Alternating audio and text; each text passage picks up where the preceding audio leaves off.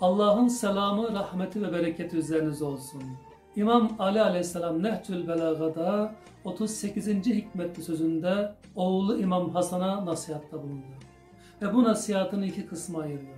Birinci kısmında şahsın kendisiyle ilgili konulara ve ikinci kısmında ise kimlerle arkadaşlık yapmaması gerektiği konusuna değiniyor. Şöyle buyuruyor. Ya buneyye ihfaz anni erba'an ve erba'an la yedurruke ma amilte ma'hunne ey yavrucuğum amel ettiğin müddetçe zarara uğramayacağın şu dört hususu benden öğren. İnne a'nel gına el aql ve ekberel fakr el hum. En büyük zenginlik akıldır.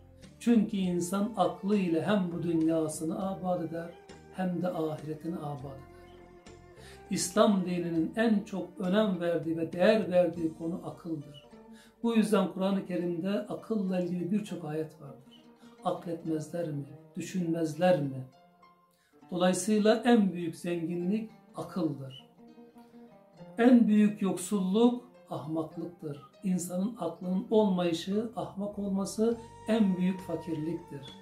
Bütün dünyanın servetine sahip de olsa, eğer insanda akıl yoksa, o insan ahmaksa, o servetin hepsini bir anda yok eder.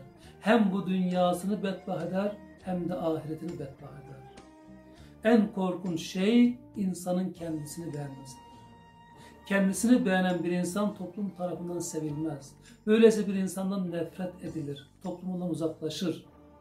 Kendini beğenmek bütün hataların kapısıdır. Bütün hataların anahtarıdır. Kendini beğenen insanlar hatalar çok daha kolay düşer. Böylesi insanları kandırmak da kolaydır.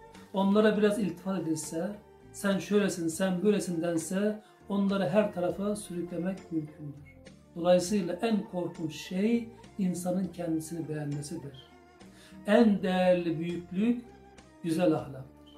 İnsanın güzel ahlaklı olması o insan için en büyük değerdir. Onun güzelliğidir.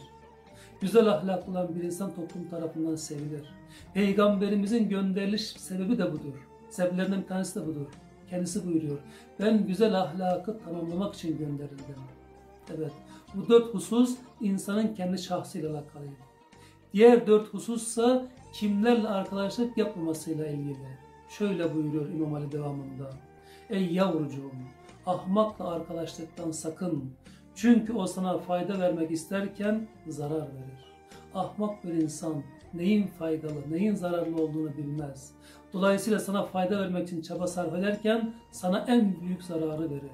Ahmaklık tedavisi olmayan bir hastalıktır. Bu yüzden Hz. İsa şöyle buyuruyor. Ben anneden doğma körleri iyileştirdim. Birçok hastalıkları tedavi ettim. Ölüleri dirilttim. Hz. İsa'nın mucizelerinden bir tanesi de buydu. Hastalara şifa vermesi ve ölüleri diriltmesiydi. Ama diyor ama ahmak kimseyi tedavi edemedim. Ahmak birisinin dikkat edin ölüyü diriltmek bir mucizedir. Böylesi bir mucizeye sahip olan birisi diyor ki ahmağın tedavisi yoktur. Ahmak birisini tedavi etmekten aciz kaldım. O yüzden aklımıza şöyle gelmesin ya bu ahmaktır, işte aklı azdır, biz bunu bir şekilde tedavi ederiz. Böyle bir şey mümkün değil.